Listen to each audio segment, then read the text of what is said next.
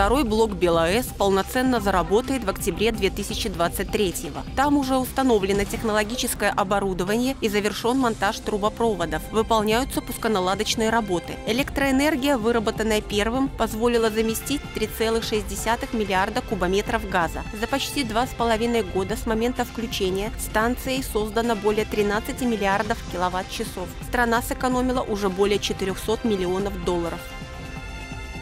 В республике с 1 мая вырастут детские пособия, пенсии и надбавки. Это связано с изменением бюджета прожиточного минимума. В среднем на душу населения чуть больше 352 рублей. Единовременная выплата на первого ребенка превысит 3,5 тысячи. При рождении второго и последующих детей заплатят без малого 5. Социальная пенсия инвалидам первой группы почти 390 рублей. Доплата неработающим старше 75 лет свыше 66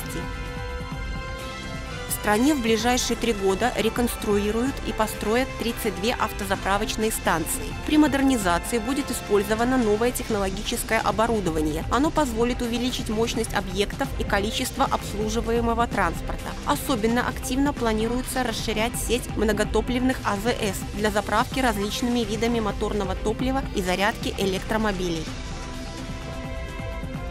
Минтруда напоминает о рабочей субботе. Переносы распространяются только на тех, у кого пятидневка. Если сотрудник 24 апреля находился в отпуске или на больничном, 29 выходить не нужно. Однако это не касается тех, кто был в командировке или повышал квалификацию. Следующие официальные выходные – 1, 8 и 9 мая.